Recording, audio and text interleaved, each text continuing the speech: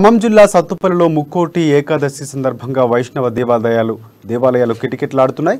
తెల్లవారుజాము నుంచి భక్తులు ఆలయాలను సందర్శించి ఉత్తరముఖ ద్వారం నుంచి స్వామివారిని దర్శించుకుంటున్నారు.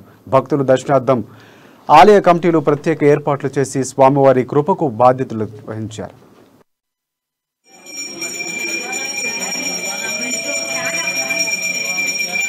జై శ్రీరామ్. ఈరోజు మన సత్పల్లి పట్టణంలో శ్రీ కోదండరామాలయం నందు ముక్కోటి ఏకాదశి సందర్భంగా ఉత్తర దూరదర్శనం నిర్వహించడం జరుగుతున్నది. భక్తులకు సౌకర్యార్థం ఉత్తర దూరదర్శనంలో స్వామివారిని దర్శించుకుని మూల విరాట్లను దర్శించుకునే విధంగా ఏర్పాటు చేయడం అనేది అనేక మంది భక్తులు